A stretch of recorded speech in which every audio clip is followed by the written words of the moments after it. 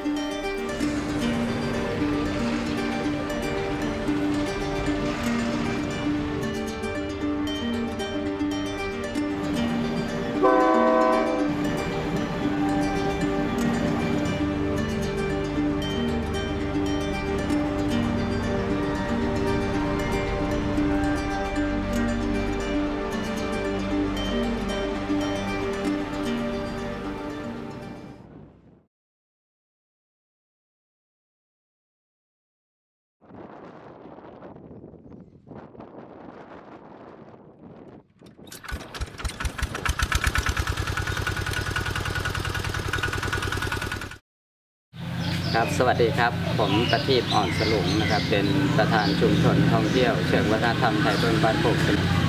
หากพูดถึงตำบลโคกสลุงเนี่ยนะครับสิ่งที่บ่งบอกความเป็นชุมชนเราเนี่ยมีอัตลักษณ์อยู่สามเรื่องนะครับ เรื่องที่หนึ่งก็คือเรื่องของภาษา ภาษาพูดหมายถึง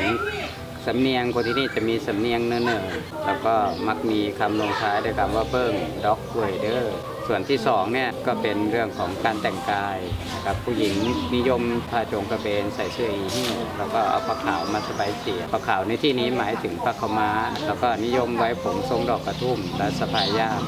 แล้วผู้หญิงก็นิยมกินหมากรวมทั้งผู้ชายด้วยนะครับ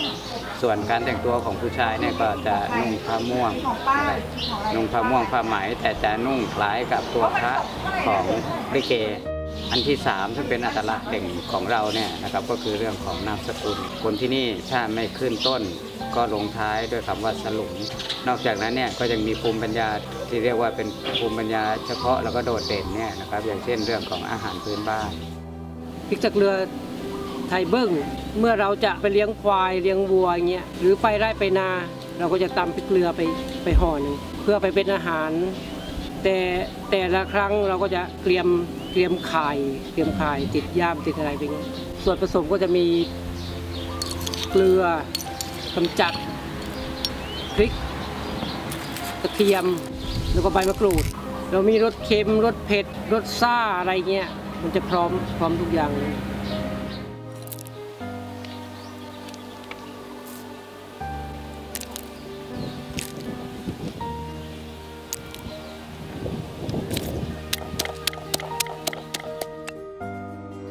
เราอยากรู้ว่าส่วนผสมของไอ้นมเบื้องจะเอาอะไรเบื้องที่ว่า ไปผสมเป็นเมนูที่ว่าแปลกๆแบบใหม่ นอกจากจะเป็นไอ้เครื่องดำมาผสมนมเบื้อง เราก็เลยมีสูตรว่าลองเอาพริกสะเกลือไปลองผสมลงด้วยก็จะได้สูตรอีกรสชาติหนึ่งเพราะฉะนั้นพริกเกลือก็จะเป็นอาหารที่เป็นอาหารคู่กายของชาวไทยเบิ้งด้วยครับ แล้วพริกเกลือที่นี่นะครับ มีที่เดียวนะครับที่ปรุงแบบของเราแล้วก็มีรสชาติแบบนี้ แต่เป็นอาหารที่เป็นอาหารอเนกประสงค์ของที่นี่ เพราะฉะนั้นอาหารแต่ละอย่างเนี่ยนะครับถ้าใครอยากจะกินเนี่ยไปหาซื้อมีสตังค์ไปหาซื้อที่เซเว่นก็ไม่มีหรือหาซื้อที่ไหนก็ไม่ได้ ต้องมาที่โคกสลุงเท่านั้น